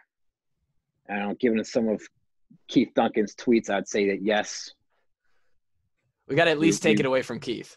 We got to take it away from Keith. Um, but no, you know, KF brought that up in, in our senior meeting, January of 2017. He meets with all the seniors together. We talk about some stuff and some issues and some rules that, you know, he's like, you know, I've been going back and forth on this. And, you know, am, am I just out of the generation loop? Am I just not be able to, you know, am I wrong on this? And I will say that I was the first one to raise my hand and say, no, coach, we we don't need to be tweeting. Like, in my opinion, there's there's nothing good that could come from it. And and I remember that. And and you know, guys have Instagram where they got thousands of followers. Guys got Facebook. Guys got Snapchat. You know, if you want to get your message out there, you can get it out there. But I just feel like, especially now, Twitter is the place for knee jerk reactions, and you're going to say something that you're probably you can easily regret somebody screenshots it and then boom like you said something pretty pretty damning uh, especially i couldn't imagine being a player having twitter during the season either that would oof, oof, that would have gone dark. really poorly for me in yeah. Games. i mean if you want if you want to see why i don't think i didn't think at the time that the players should have twitter go look at drake's twitter feed okay like what did go I look do? at any of our twitter feeds what did i do wrong I haven't told anybody now, to eat dicks in a long time. Now here's now here's the other side. Here's the other side of this. Because again, like I said in my statement, two sides to every story. With the current social climate, George Floyd, how do you how do you how do you how do you stand up there and now now that rule is directly oppressive. You are you are you are suppressing of uh, a form of one's voice. Now, granted, again, you can argue the whole. Well, if you want to put stuff on social media, you got Facebook, you got Instagram. Like, we're not suppressing you completely, but it is in some way suppression. And sure. in the current social climate, sure. I mean, uh, yeah. How, oh, how you know what? Yeah, and you know, even before all this shit came up with, uh, you know, the Iowa guys that you know, KF was was talking about letting guys tweet. Yeah, and and I think it, this is what I told somebody else about the Twitter thing that they asked me, and and I said, I said two things. One, as the years go on, Twitter and all of social media is much more second nature and more well known and um, easier navigated. Now that doesn't mean that there's everyone on there is you know, gonna put. It's it's not like 2020 now. Everyone's putting smart stuff on Twitter. That's pretty clear. Not the situation. It's actually 2020, and my tweets have gotten significantly stupider. Right. But the classes that now come in to, like they grew up with that shit. they grew up with social media. They know how to use it. They know when when we dude, you go back you go back before I deleted them. I mean, none of it was bad, but you go back to like some of my you go, you go back to like statuses. 2011. You go back to like 2011 Twitter for Kevin. There I was some. Oh, There 75% of my Facebook statuses were like about what cereal I was eating at 11:30 at night and like just stuff that like we didn't know that it was out there for everybody. We did, but we didn't get it. These these kids get it. And and then the other thing I told the person is like um, Nick DeMarco, one of our former strength coaches. He he made a tweet in regards to the coronavirus and um, strength coaches and their athletes that I thought was was really good. Uh, Nick is a highly respected kind of colleague, friend, mentor of all of ours on this podcast. One of the greatest human beings there is. Yeah, probably going to be one of the one of the best strength coaches out there in short time. He put a tweet out that said, "If if you as a strength coach are worried about your players being at home during this coronavirus and not doing the workouts you provided them and not doing what you as a coach are asking them to do, you failed as a coach. Because your job is not only to coach them when they're in the building on just strength and conditioning stuff. Your job is to make them better men and coach them to be better people and be more disciplined and follow rules and and and just become more productive people in society. And so if if they go away from the from the uh, from the campus and coronavirus is keeping everybody away and they don't follow what you ask them to do, then you failed as a coach. Similarly on Twitter, I think it's probably time that these kids know what Twitter is. You can clearly mandate it. Ma- tell them, hey, if you tweet something stupid, this is the repercussion. But you have to you have to give it to them and trust that you as a coach have have gotten it through to them that this is the kind you know th- this is the kind of and you're molding them to be the kind of good people and good uh, positive impact on society that if you do it right most of the time hopefully all of the time you know they take that twitter uh, weapon and they use it for good and they and they don't put stuff out there that would be detrimental to the program or themselves. You have to just trust them you know? So there's another side to it as well. Drake we kind of Yeah. cut you off on your personal uh, experience. I don't know if there's any else thing else you wanted to share I mean, you, you do you have some questions? You said you had some questions that you were going to ask me. I don't know, man. I feel like I can I can talk when uh Yeah. when talking points. Um, I mean, we've we've kind of hit we've kind of hit on them. Um, they've kind of come up through this ninety minute conversation, a little less because Kevin took a quick break there with the Gervais internet. Gervais internet was always going to make an appearance in this episode. Um, I have a, I have a couple things that that that people are wanna gonna wanna gonna that are wanting to probably hear our thoughts on, uh, because we truly we don't want to do another full podcast on this. Like this is tough as it is. So, you know, KF came out and made statements, right? And then Doyle came out and made a statement. which uh, was misguided. I'm I'm curious your thoughts on those statements, open and honest. Uh, I Doyle made a statement. Yeah, I mean the Doyle statement was very misguided. said he was told to keep quiet and that he couldn't. And And, and so like I here's mean, I look, get it. and, and I made him get it, you and- know? yeah let me let me finish. He was told told to keep quiet and he couldn't. I understand that urge. Um, obviously you're, you're being defaced defamed and and people are just straight on on onslaught assault attacking you. Um the part that that was bad was he made it an absolute he said i have never i have never um you know, you could bring it up, but I, I have never made any decisions based on racial bias or something along those lines. Um, and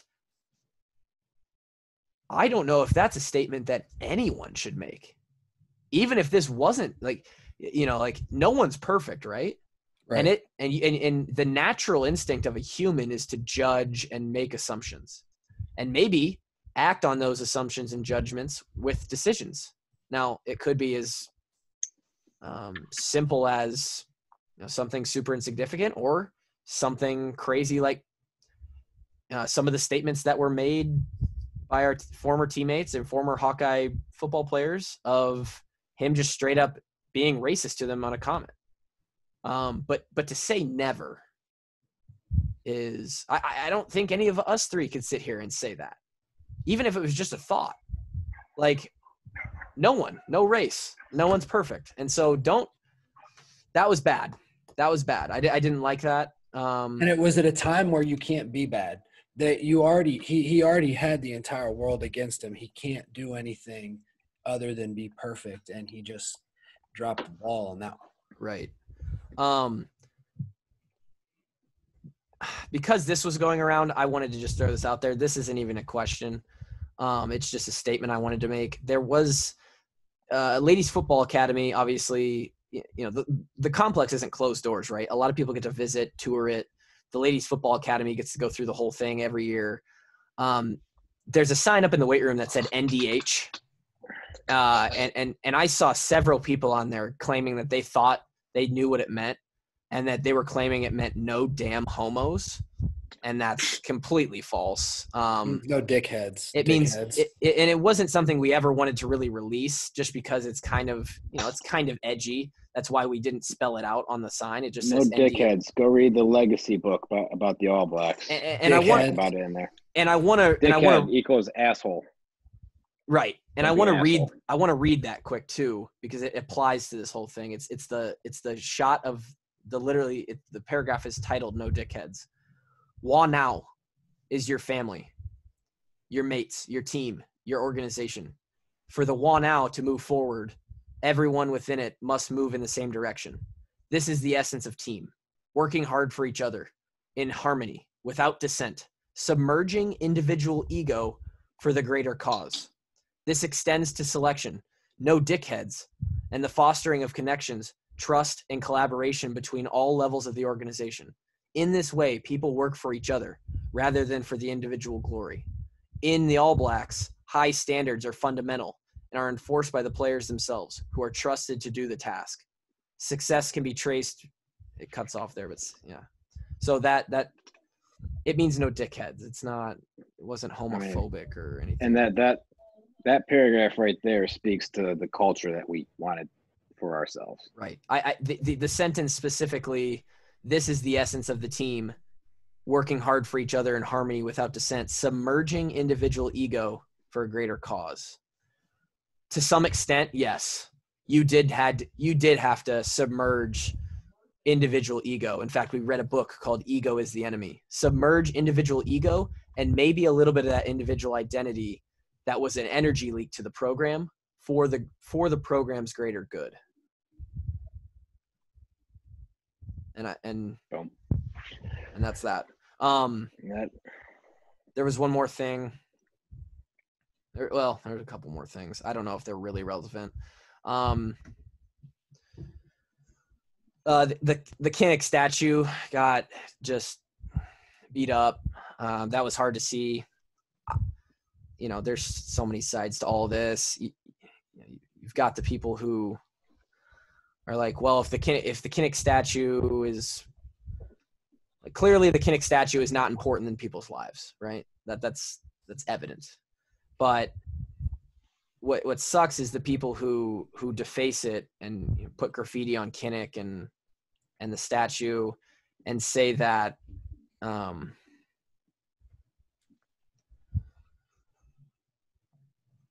it ain't right. yeah I, I, I, I don't know how to say it uh, it's I, I understand that you're making a point and that the statue can be repaired and the, and the lives can't be repaired right like we can't bring george floyd back and so that's the point. and if that's and you're claiming if that's how far we have to go with it to, to make the point. Yeah, you've got some you've got some something there, but I don't know if, if you're just totally in the right either. Um, and that that was hard to see. Kevin, I know you went and helped clean up that morning. Um, I you can speak on that if you want, but I, I just wanted to bring that up. And then No, um, we we went and returned Kinnick to her natural beauty. That's all, um, that's all we did. that was really it. Didn't have anything So- else. Uh, I, I guess the I question want, is, I want, I, I want to ask you guys a question. Yeah. How do you guys? Because this is probably you know outside of coming at our culture. The next thing that bothers me the most is the way our teammates decided to go about this.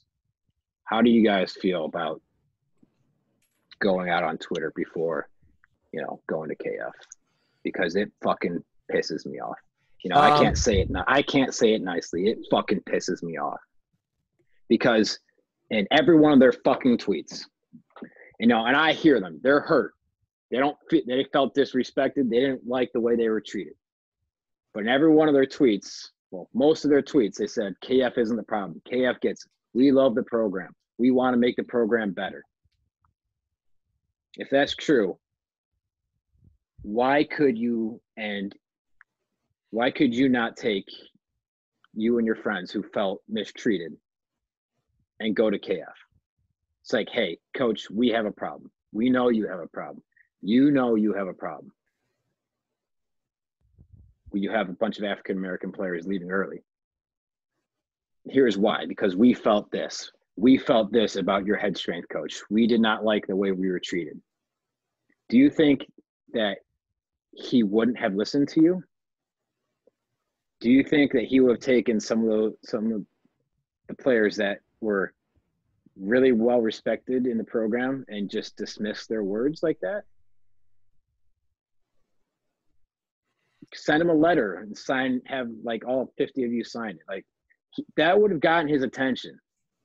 Okay, KF is an honorable man, and I'll go to my grave saying that. Okay, KF would have listened.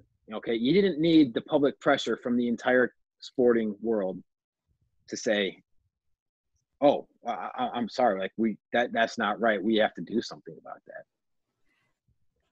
And if he didn't listen, then you could go go to Twitter. Okay, I I did not like that because um, yeah, it aired it aired our the dirtiest of our laundry to the entire country and you know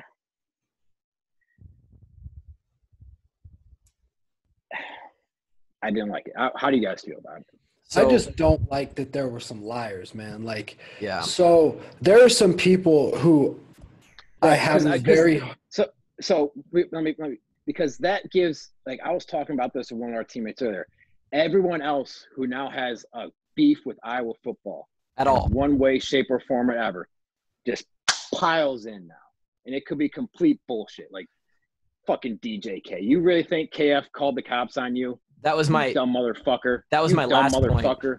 You gave djk a voice? Fuck off. And then so to to that point, to that point, it's like when a guy like James Daniels or a guy like Jaleel Johnson speaks out, it's something that you have to listen to, right?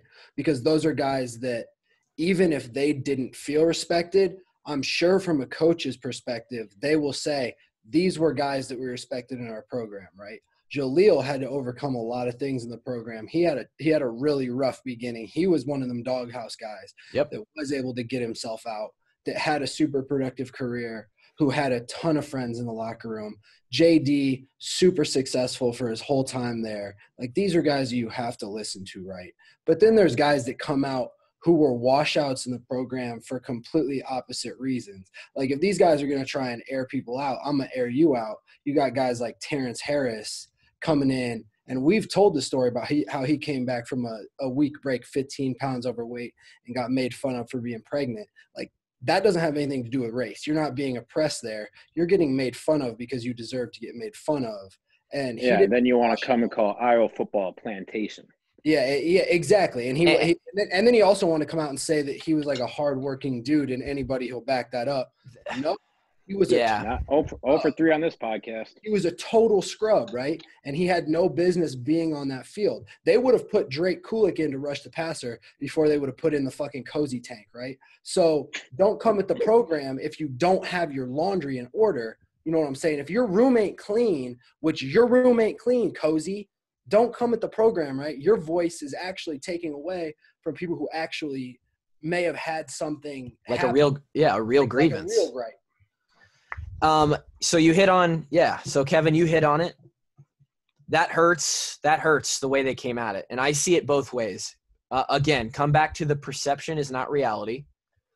They may perceive that if they did take the entire squad of all 50 um, black players who who had something to say they could have because they could have gathered that right behind the scenes and they could have gone to kf and They been like gone to Barta. They could have gone to know, anyone and said, "Hey, this is the grievance we have." Not only w- would that have looked more professional, but they could have gathered their thoughts better than 140 sporadic tweets kind of pieced together and made an argument to, to KF like, hey, we don't like Doyle. Get him out of the program. We want change. And told him, if you don't listen to us or you don't do something about this, we will take it to social media and use that that public mob so yeah it, it, does but but maybe they perceived that there was that you know there was no way to do it and they wouldn't have been listened to unless they you know unless they did it this way. And and drake um that one that one maybe hurts me the most is is the one where where guys clearly have come out and made up stories. There was one and it might have come from Terrence as well who who said that when they showed up to the to the facility one day kf was walking in and they drove by and they were playing music and the and the windows were down and he said something like like that he didn't like their music and that there was no fucking way they were going to make it through the program and then he spit at them first of all KF parks in the back of the building every single day and walks 10 feet to the door. He never KF is never walking by your car. he never walks by your car that you're pocket, parking on the front of the building. And two, yeah, I wasn't there, but I'll go to my damn grave forever saying that KF would not I mean, are you serious? It's just spitting at your car as as you guys are about to go into the facility together? Not a chance in hell. And that and that does piss me off for James and for Jaleel because they got buddies who are coming out and and making their voice less. It's not helping their cause. No, it's not helping their cause because some of the other guys I do because believe- I, I believe there are genuine concerns from very genuine people about Iowa football. I said it in my tweet. I respect Jordan Lomax more than almost any other Hawkeye that I played with. And for him to raise concerns, I'm like, okay, we got a problem. Yep. James Daniels is a very, very respected Hawkeye. He's coming out. We got a problem. Some of their buddies, not so much.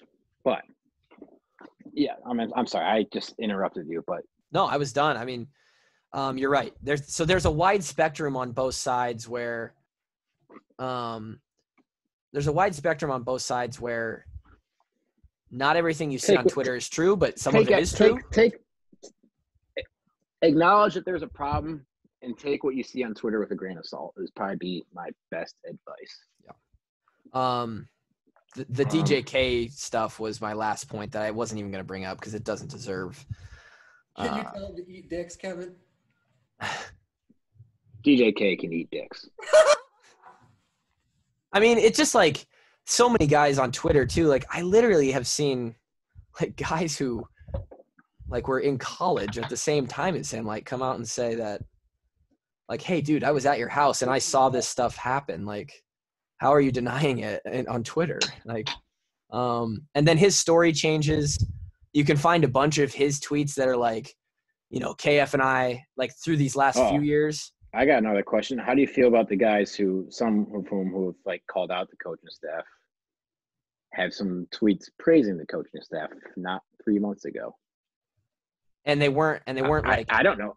I don't know how to feel about that. No one forced you to tweet those things. No one's telling you you have to suck off Doyle anymore. yeah, yeah, they're out of the I program. I, I just that just genuinely confuses me. Yeah, like uh, that's a great question, and that is one of the reasons why I had to. I wanted to have our our our, our buddies, our black teammates on, is because, you know, Mike Mike Daniels. Mike Daniels was one of who said, "Hey, there's a problem," and said, and, there's no one more respected than Mike Daniels in the Iowa program. Mike or- Daniels is like one of Coach Doyle's favorite players of all time. all time talked about all the time but then when james came out he he was he was a part of that he he said that there was issues that need to be resolved but then you go back uh you know to just this past season and and mike has a tweet that says ain't no one does it better than chris doyle he's the goat It was March. It was three months ago.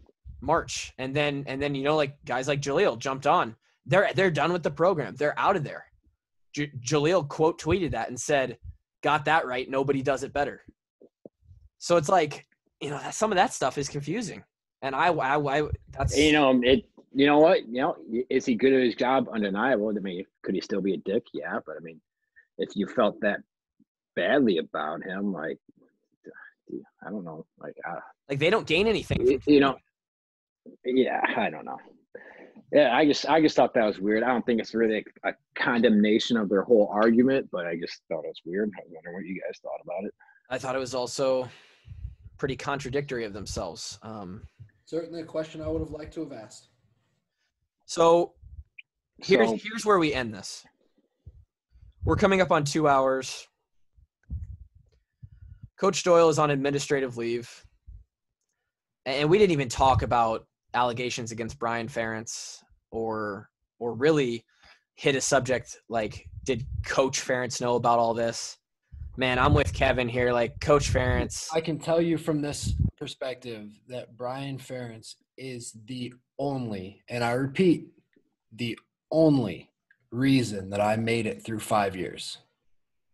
So, I mean, I have I have him and only him. If there's only one person I could thank in the entire program, there's only it, it would be Brian Ferentz. So that's one where um you're probably going to see Drake go to war for Brian Ferentz. You, there's no probably. You will see me go to war for Brian Ferentz if push comes to shove. There's nobody else probably that I will lay it down for. Maybe. can But I ask you uh, an uncomfortable question, Drake? What up? So, Akrum Wadley's mom put a, a video on Facebook, hmm and at the end of it, uh, and this is a perspective that I, I definitely don't have. Kevin, you got to sit in meetings with the DBs every day. Um, very diverse group, mostly black. I was the minority. Drake, you sat in the running back room, um, majority black. Yep. At the end of Akrum Wadley's mother's Facebook page or video, um, she she uh, played a, uh, a voice memo of Akrum, kind of describing a, a short, uh, maybe three or four minutes of his experience at the University of Iowa, and a lot of that, a lot of that was coming after Brian. Um, and and and he made one specific claim uh, about Brandon Simon, who we all know, who was a defensive player, played uh, some scout team for the for the starting offense, um, where he said that uh, he he literally said that Brian's words were, and I don't remember this at all. I do remember him blowing up on Brandon Simon, but he said that on the field he was saying stuff like "I fucking hate you," "I hope." Like I, we don't want you in this program, and then brought it to the meetings and continued to say that he was he was uh, he hopes that Brandon Simon got hurt and that somebody would hurt him. Um, do you remember that at all? The Uh, blow up happened. I mean, yeah. if we're if we're I remember something. I remember something about the blow up. I was on the other side of the field. right. I do remember the blow up happened. Because those are some pretty strong words like "I hate you," "I wish you weren't a part of our program," "I hope you get I don't- hurt." I have no idea what he said. I just remember he was saying a lot of shit. uh, the the I hope you get hurt part. I don't I don't remember being said. The uh the leave. We don't want you here. What are you still doing here? Just get the fuck out. It happened. Like if we're calling a spade a spade, it happened. And I the don't know about the meetings, um, but I mean on the field, it happened. yeah, and and, and that kind of verbiage, um, that he wasn't the only person that was said to, white or black. There was plenty of people over our five years where during conditioning in the summer or during um, during workouts in the weight room or during practice, if you weren't given 100%, you were sloping or sloping, slouching, moping around. Um, people would, you know, coaches would call you out. That that's a motivator. I don't think it's racial. Hey, leave. We don't want you here. If you if if you're not going to give it all for your teammates and your coaches, we don't want you here. I heard that in high school. Um, but there was pretty strong stuff against Brian Ferentz, and, and a few other people jumped on on Brian Ferentz as well. Where I was taking this is um, Coach Doyle, obviously the biggest question of the program. I finished my personal statement with, I don't, I don't really think um, that I see him being the head strength coach at Iowa anymore, and, and I'd like to, you know, and I have mixed feelings about that. Um, but but what what do you guys think? Is there? You're right. Yeah. There, there's no way out of this. Um, that bridge is burned. Uh, it's just that Um, from a I, recruit, I think. Go ahead. you can't you can't get any recruits if you still have somebody who's got such terrible allegations and you bring them back and say we're going to ignore this then i mean how how are the recruits families going to allow them to come and play for this program and i mean there's been too many ugly stories I think you said it really well in your statement is that even if they do bring them back, how can he perform his role Mhm. with the things that have been said? Yep. Like, how can you take command of a lift group and demand excellence when, you know, we said it all the times, like, you know, it's it's hard to call out your teammates, especially when your lawn looks like shit. Yeah. Yeah. You yeah His you lawn looks like shit right now. you got to lead from the front and Yep. His his So has I, that shit on you uh, know, it doesn't. It- you know, we're not making the decision. And No, and- and the I- investigation, the investigation will make its course, and you know, the, the players who filed their grievances will be heard. And I, I find it hard to believe that Chris Doyle will be the head strength coach at the University of Iowa going forward. Yeah. So, are, are we wrapping this up now? Is that what we're doing? I think so. Unless there's anything else you guys want to bring up, I think we talked about a, about all the subjects that have come up. Um, it's gonna be a fun edit. I know that. Two hours. Yeah. So closing thoughts. This is, you know, the ugliest chapter of Iowa football history, probably. Yeah, hundred percent. And you know what? It we said in the beginning it, it hurts because we loved our time in the program. And you know, we, we talked about it after that uh we talked about it during our, our episode on mental health like we almost identified as part of the program like we that is what who we are we are iowa football players and to see iowa football in such a ugly state hurts you know three years removed two two and a half years removed from the program. It hurts. Uh you know i will say to the fans that uh there is work being done behind the scenes with those who filed grievances. Um kf is listening. Uh there's you know there's a lot of stuff going on. Um you know but you know they, they'll be heard and they'll have their wishes made known. But I, I think the most important thing right now is how that locker room that's in there now feels about each other and, and about the coaches because you know what we we had our time. We're not on the inside anymore. We're, we're still part of the family but we're the crazy distant second cousins. You know we're not the brothers and sisters and mom and dad anymore we're we're on the outside looking in now but you know once a hawk always a hawk but the Hawks that matter are on the inside of that program right now. So I heard, you know, we can maybe touch on this that there was a very emotional meeting on Monday. Very. That you know it all got it all got out, out opened up in the everything we just talked about was was essentially laid out in a I think it was somewhere between two and three hour meeting. Um, players crying, coaches crying, everything we just talked about. Um, open mic is what I was told. Multiple pe- multiple people said it was life changing and by far just the most what will be the most infamous team meeting ever on the inside. Um, I have to think that that's a good spot to start for the for the So- positive changes that need to be made. So yeah, I mean, th- this is my thoughts. You know, the guys that are on the inside of the locker room, they matter the most right now, and that's you know that's that's just the way it is. You know, if they feel good about their coaching staff going forward, then good. You know, we might have to make some changes still, but you know, then we can still feel good about Hawkeye football. We can still feel about good about where we are at as a team. doesn't change the fact that any way you look at it, we failed our black teammates during our time Hundred percent. because you know whether they're allegations of systemic oppression or are true or not doesn't matter because they felt it. They felt that they way. Feel, Yeah. Because they then they didn't feel they had a voice enough to speak up about it. So we failed them there, and you know that breaks my heart. Don't feel good about it. Never will. I still, you know, I love that coaching staff, and I have a great amount of respect for them. So I, I hope, you know, we can get to a place where,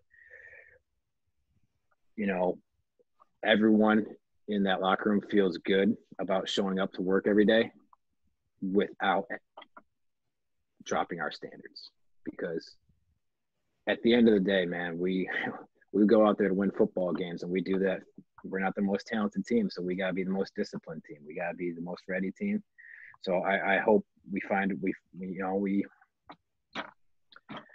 I hope we find a solution. I don't envy the spot that KF's in. I, I feel I feel really bad for him right now because he is just in a world of shit. Yep. And you know he's I can only imagine how bad he feels because you know look they don't they don't they don't bring you into Iowa football hoping you fail or expecting you to fail. Like come on, that doesn't make sense, man.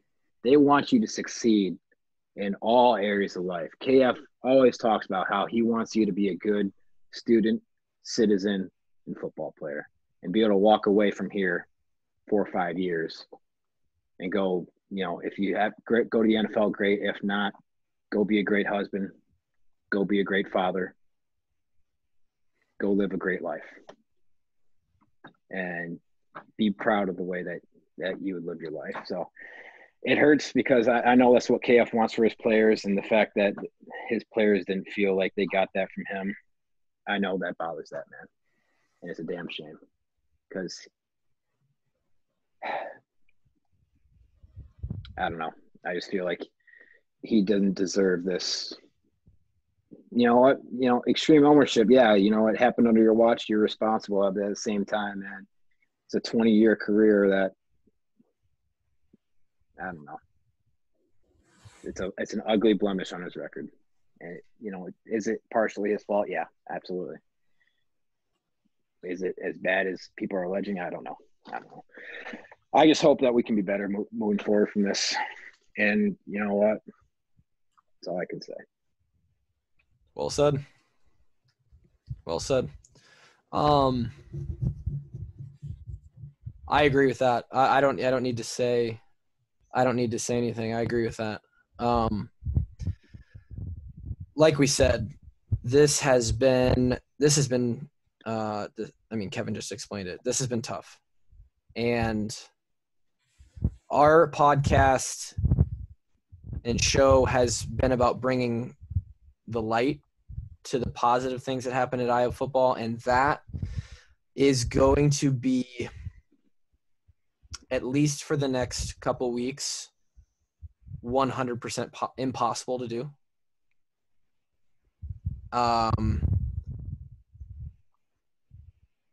and so this episode's going to come out on Friday the 12th. And um, and the washed up walk-ons aren't going to have an episode till at least uh, at least probably the 29th or maybe into July. Um, because it's this needs to sit and this situation needs to continue to develop. And uh and it, it wouldn't feel right to do the kind of show that we do. Um I, I say that i say that with one caveat. If we can get some guys on to have a conversation that would be the only um that would be the only way we'll, we'll be releasing an episode in the next uh two or three weeks for sure When you break a leg, you put a cast on it and let it heal. We're just gonna let them cast that program up, let them stay on the inside, heal it up. um, we we will be back eventually. Um, we we appreciate um, you guys listening. This was a long one, two hours. Um, uh, and and take this like you take everything else. Um, add it to everything that you're consuming and and um, inform your own opinion on it. Um, we we we appreciate so much that you care what we have to say.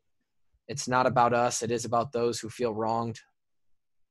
Um and that's episode 123 of the Washed Up Walk-Ons podcast. We will uh we'll talk at you again at some point. Thanks